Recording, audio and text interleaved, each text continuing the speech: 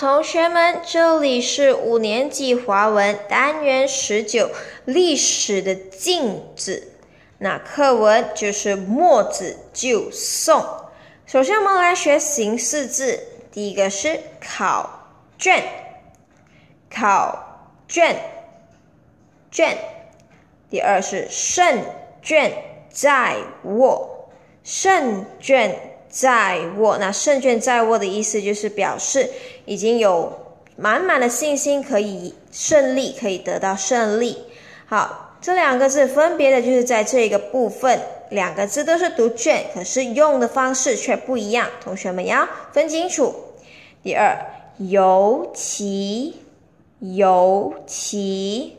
生龙活虎，生龙活虎，对，一个是游，一个是龙，多了一个撇的是龙，没有撇的是游。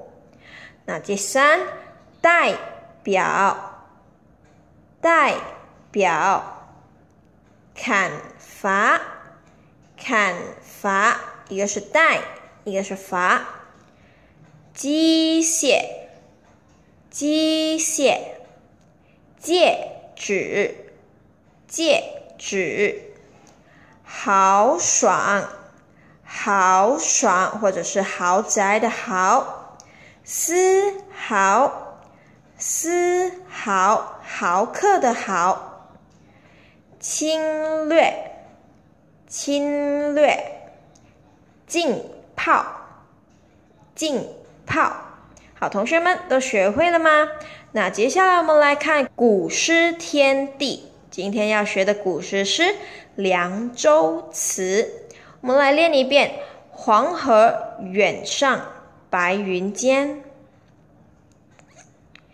一片孤城万仞山。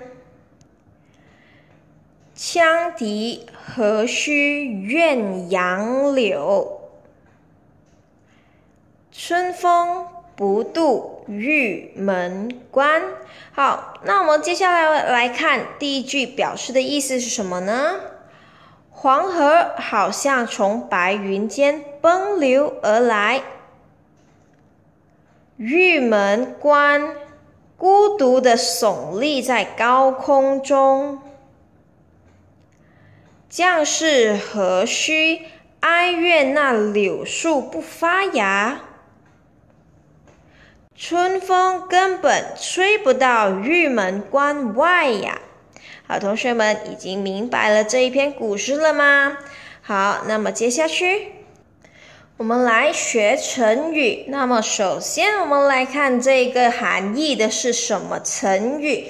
使用全部武力，任意发动侵略战争。成语是穷兵黩武。人民无法生活，我们可以用民不聊生来代替。对，人民都生活困苦，民不聊生。形容战火到处燃烧，成语是烽火连天。理由已被驳倒，无话可说，理屈词穷，道理正当。措辞严肃，义正辞严，形容有夺取胜利的充分把握，胜券在握。形容说话做事迅速，不假思索，对，不犹豫的，就是不假思索。好，同学们又学会了这七个成语了吗？很好，那。这里就是五年级华文单元十九历史的禁止教学，谢谢大家。